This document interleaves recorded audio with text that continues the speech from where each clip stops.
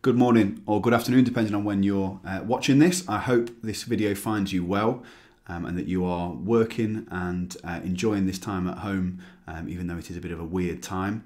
Um, in today's lesson, we're going to be looking um, about 200 years earlier than where we've been looking um, in our previous lessons, looking at America. And we're going to look at a group um, who came over from France um, called the Huguenots that came over to Britain um, in the late 16th century um, and onwards.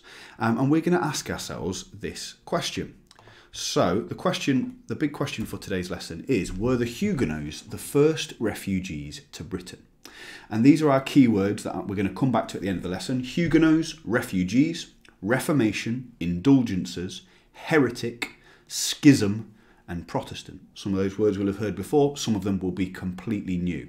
And the understanding questions that we need to be able to answer are why did the Huguenots come to Britain and how did the Huguenots change Britain? Our skill is cause and consequence. So, just as a little recap for us, we in our top right, hopefully people um, might remember him from uh, previous lessons. This man is called Martin Luther. He's got a strong hat game. Um, and in 1517, Martin Luther is a German man. He nailed a document with 95 theses to the door of All Saints Church in the German city of Wittenberg.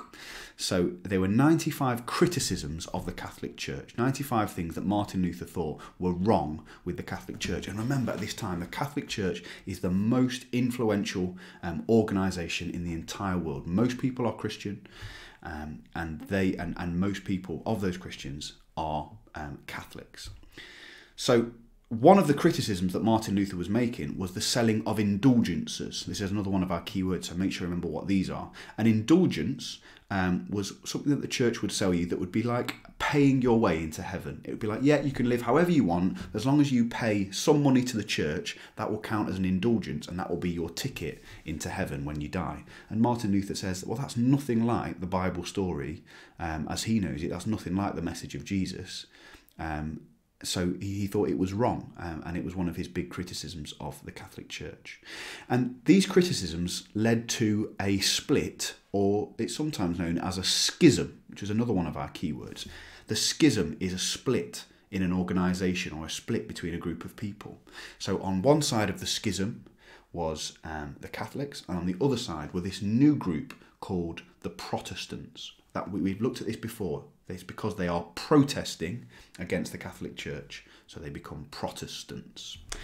Um, people were upset about the way that the Catholic Church was using their power and their wealth, and they felt that they were taking advantage of people um, who were just trying to live their life and serve their God. Um, so Protestants break away. Now, Protestants, um, Catholics and Protestants, is a divide that still exists today. So, as we're going to look at, um, Britain is a Protestant country, um, uh, our, our, church is the Church of England, um, and but yet you still have people in England who are Catholic, um, and so they believe this. They both believe in the same God. They both believe in Jesus. They both believe in the Trinity.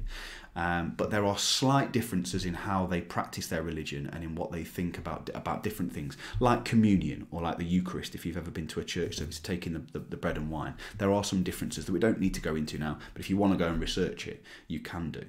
Um, so this new type of Christianity, Protestantism, suddenly swept through Europe, um, and many countries converted, like Britain, from being Catholic to being Protestant. And this made the Church of Rome, okay, so the, the Pope, um, and who is the head of the Roman Catholic Church, he was really angry about this because he felt that the right way um, for people to, to celebrate their Christianity um, and to have their faith was to be Catholic. And this anger started many wars, massacres, so killing lots of people, um, and many lived in fear because of religious intolerance. Intolerance is a word we've looked at all the way through this migration topic of people um, not be intolerance is when people are uh, mistreated because of their beliefs, because of what of who or what they are. Um, and one of these Catholic countries who are angry about the spread of Protestantism was France. So before we get onto France, let's have a look at England. So look at this vision of a man. Power stands here. Hopefully we know that is Henry VIII, another strong hat on uh, show today.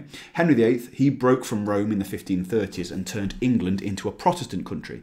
Now, Henry VIII, he didn't really care too much about what Martin Luther was saying. He was he he actually had been a Catholic all of his all of his life and didn't really care too much about um, indulgences and things like that he just wanted to get a divorce, as you probably know about, um, and he also wanted to be able to get his hand on the hands on the church's money. So he breaks away and sets up this Church of England, which still exists to this day, um, and is the state church um, in England. It's the it's the, the most common one. Our Queen is the um, head of the Church of England. Now, his eldest daughter, Mary I, she briefly tried to reverse the Reformation uh, and go back to being um, Catholic. But apart from her, um, future kings and, and, queens made England a safe place for persecuted Protestants, so people who were being um, picked on, people who are being um, disrespected, and uh, in some cases are being uh, threatened. Um, they were England became a safe place for them to go to um, because it was a Protestant country, and France was one of Britain's biggest rivals, up there with Spain and Portugal at this time. So we're going to meet the French Protestants. Now, the fancy word for the French Protestants, which is what we're going to be using from here on in, they were the Huguenots. The Huguenots. Um, you can put your best French accent on um, to help you. Um, in Catholic countries like France, Protestants were seen as heretics. Heretics, another one of our keywords. Heretics means somebody who is preaching um, the, fo- uh, the false gospel or preaching something that is against God. Um, and heresy, being a heretic, was seen as a really serious thing. If you were if you were trying to change God's message and preach something different from what other people thought was true, you were treated as a heretic. And it got so bad that in August 1572, and this picture um, is a is a, a painting of this event. August 1572, tens of thousands of French Protestants or Huguenots were killed in the Saint, Saint Bartholomew's Day massacre. So the Huguenots, because they wanted to get away from horrible events like this, they made the trip across the English Channel to the nearest Protestant country of England. Now, over the next hundred years, it didn't. They, they weren't being the Huguenots weren't being massacred um, and persecuted that whole this through that throughout this whole period of time. Um, things did get briefly better um, under the French king Henri IV, um, but in 1685, they had a, a, new king at this point, Louis XIV, and 200,000 Huguenots were forced to become refugees um, because they removed their religious freedom. It, and their, their, king Louis XIV made it illegal um, for them to practice their religion, and they so they felt they had to leave um, and 50,000 of them sought refuge in England.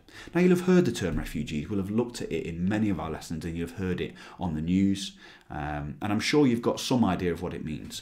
But what makes a refugee a specific type of migrant um, is that a refugee is somebody who is seeking refuge. To seek refuge means that you feel that the place that you are in, the place where you normally live, is not safe, and you need to go somewhere else in order to feel safer. So a refugee would travel to a different place, a different country, in order to seek refuge for their own safety. So that is what a refugee is, and 50,000 of them um, sought refuge in England in 1685. So, how was England impacted by these Huguenot refugees? So, Huguenots were skilled craftsmen. So, they made things like watches, guns, they did things like bookbinding, which was still quite new around this time of, of putting books together. And they also um, made hats and were also good with um, making things out of glass. So, these became really important industries that the Huguenots brought over um, to Britain. Um, they established businesses in areas such as London, Plymouth, and Norwich. Um, and one of the main things that they introduced was, was paper making. So before the Huguenots arrived, um, there'd been no paper mills at all in England. Um, but by the 1710s, um, about 100 years after the, the Huguenots first arrived in Britain, there were 200. And one of the the lasting things that um, the Huguenots brought into Britain was that British banknotes, as we can see up here, were printed on Huguenot paper, paper from a Huguenot paper mill, from 1712 all the way through until the 1960s. So that's a huge amount of time um, where this really important thing about British life, having paper money, people held it and paid for things all the time, that was done with something that the Huguenots had brought to Britain. So, did everyone react well to the Huguenot refugees? Now, whenever we talk about refugees, um, and if you think back to um, your year eight lessons where we, we looked at um, how um, refugees are sometimes treated in the media, um, there were some um, people who did not like the fact that people were coming over to their country from somewhere else. So there was quite a lot of anti Huguenot feeling. Some people felt, and this is a common complaint that people have made over the centuries, that when refugees come over, like the Huguenots, they take jobs away from English people. Um, and Huguenots were also seen as dirty and full of disease. So they found a way of um, demonising the, the, the, Huguenot refugees to treat them like they weren't really people. Um, Huguenots were also mistrusted by some people because they ate different foods from us, like snails. Uh, and that was seen as a very odd thing to do um, in, in Britain. And one member of parliament for Bristol, when they came over, he compared the Huguenots to the plagues sent to Egypt in the Bible. So he was very disparaging, very rude and disrespectful about these Huguenots who were coming over. The main reason they're coming over, remember, is just to seek refuge because where they live is not safe. Um, things like the St. Barth- St. Bartholomew's Day massacre has made it not safe just to be the religion that they were, to be Protestant. But having said that, there were some people who um, did not like the new refugees. They were mostly accepted into society. And one of the things that they did um, to, in order to um, assimilate, which just means to um, become accustomed to the to the British culture, was that they changed their names. So if um, there was somebody there who was called Jean Blanc, um, which Blanc is um, French for white, then he would change his name to the English version and he would be called John White. So he did that in order to blend in to um, the British culture. Um, and we've got some famous um, people up here who have got Huguenot um, ancestry, which means that they um, that they have part some of somebody in their family history was a Huguenot who made that journey um, from France. You've got the first president of the United States, who we've looked at in our previous lesson, George Washington. You've also got um, somebody who was also um, one of the founding fathers, Alexander Hamilton, and there's a, a really popular um, hip hop musical out at the moment called Hamilton, um, which a lot of people try to get tickets to. Um, there are loads of other people you can mention. I'm not going to tell you anymore because maybe that could be um, a topic that uh, that you research at the end of the lesson. Now, the French king Louis XIV who has pushed them away. He's removed their religious freedom. He realizes his mistake because of all of these industries that um, the Huguenots are bringing to France, uh, bringing from France to Britain. Um, so he actually offers them cash to come back to France. So a few of them would have taken up, him up on that offer, but most of them stayed because they'd made a life in England and they felt that it was um, somewhere that accepted them for the religion that they were. So, this is the question that I want you to have a go at. Now, it's a 16 mark question, but I don't expect you to feel that you have to do a full 16 marker, which would be three paragraphs and a conclusion. Instead, I just want you to use the information from today's lesson and do one really strong paragraph. So, the question is Has religion been the main factor in causing migration to Britain?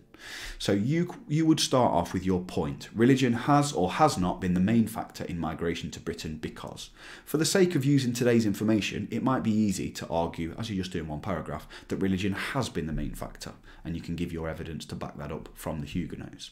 So give an example. For example, explain how the Huguenot situation led them to come over. The main reason, it seems from what we've seen today, was because of the, their religious persecution, the fact that they couldn't practice their religion in France. So give a concrete example of that um, for your evidence. Then we get onto our explanation. And remember, there are three levels to this um, simple, developed, and complex. To get your simple explanation, just tell us that this meant that. What happened as a result? Why did um, what happened to the Huguenots in France? Why did that force them to move over um, to uh, Britain?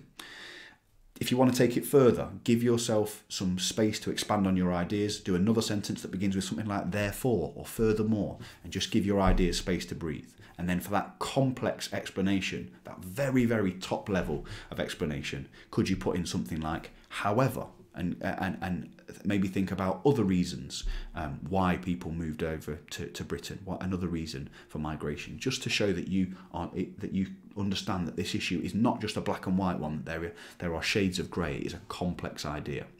Another task for you to do is you could um, research the impact of the Hugo um, Huguenot refugees on the cities of Britain. And there's a really good website here um, called um, Huguenots of Spitalfields. I've got that um, on there for you to um, copy down. and it shows you some of the uh, effects that they've had on industry. It also talks about some of the other people who have who have a Huguenot ancestry that are really important in Britain. You've even got people like um, very famous fashion designer Alexander McQueen. He comes from uh, Huguenot ancestry. You could do a little bit about him if uh, fashion is something that interests you and talk about how his family came to Britain. In terms of sending over your work, um, please do continue to send it um, to rwilliams1 at bluecoatbeechdale.uk.com and you've also got the email addresses of the other two um, history teachers there as well if you're not in my class. But please do um, feel free to send any work over, even if you're not in my class. Um, then that, that would that would be absolutely fine. Um, last thing is we're just going to go back to our first slide and we're going to have a look at our keywords. As always, I think either write down each of these words and try and put them into sentences to explain the story of the lesson, or even better, find somebody in your house um, and explain this lesson. Explain what you've learned about the Huguenots being the first refugees to Britain using those keywords. Make sure you can explain every single one, even tricky ones like schism. And you might have to go back in uh, throughout the video um, and just go over things if you're not sure. Okay, that is everything from me. So, just remains to be said, thank you to everybody who has um, sent work in. Um, I know it's a tricky time. Uh, but I appreciate everybody who is continuing to do their learning um, and is keeping their brain ticking over um, at this time. Okay. See you soon. Bye bye.